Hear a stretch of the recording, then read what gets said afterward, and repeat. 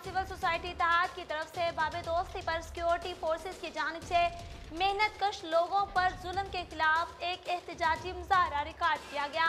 इस हवाले से हमें अपडेट कर रहे हैं हमारे नुमाइंदे मोहम्मद कसीम। जी कसीम, आगाह कीजिएगा।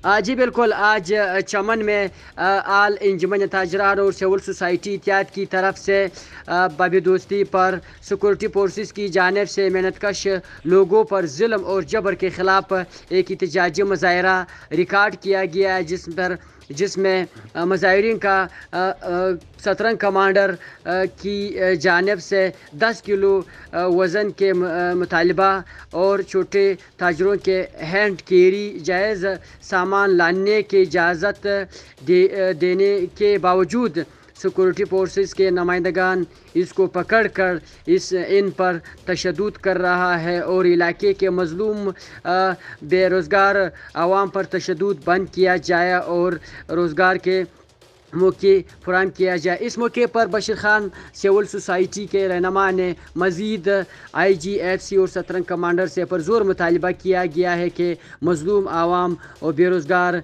के लिए बॉर्डर के जो रोज़गार के दरवाजे हैं वो बंद न किया जाए। अगर हमें मजबूर किया गया है तो हम शदीद सख्त एहतजाज से गुरेज भी नहीं करेंगे। चमन कोयटा शारा बंद करने की धमकी भी दी गई है। जी। बहुत शुक्रिया, कसीम। अपडेट करने का